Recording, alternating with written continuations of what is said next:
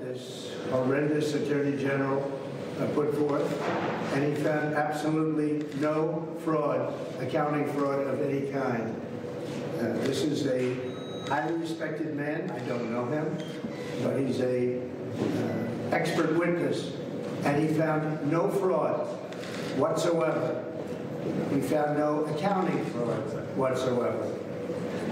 And like everyone else, he said, what are we doing here?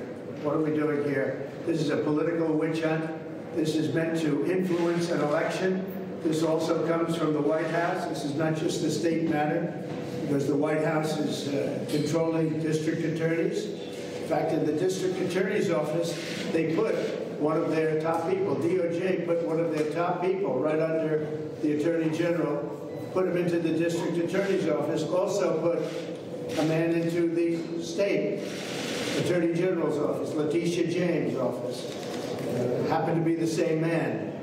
This is coming right from the White House. This is a disgraceful situation. The country's never seen anything like it. But this expert witness, highly respected by everybody, with a resume that few people have ever seen before, said there was no fraud, there was no accounting fraud, there was nothing. And this is what we're doing here while people are being murdered right outside on the sidewalks and the streets of New York, while people are experiencing horrible violent crime at levels that nobody's ever seen in the city before. This is what the Attorney General is spending all the time on. So just to put it uh, finally, he's going to continue to testify, but I don't imagine he's going to be changing his uh, basic statement. His finding is that there was no accounting fraud whatsoever.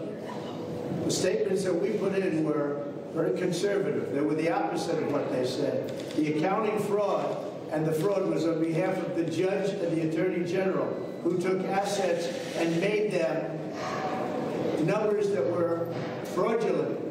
As an example, Mar-a-Lago. As an example, Doral in Miami. As an example, 40 Wall Street and others, where they cut the values to a level that nobody's even imagined. You take a look at Doral and look at the numbers that we're talking about for Doral.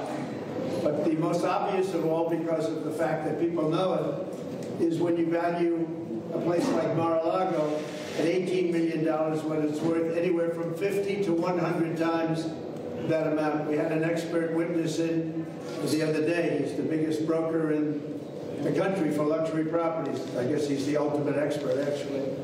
And he valued Mar-a-Lago at over a billion dollars.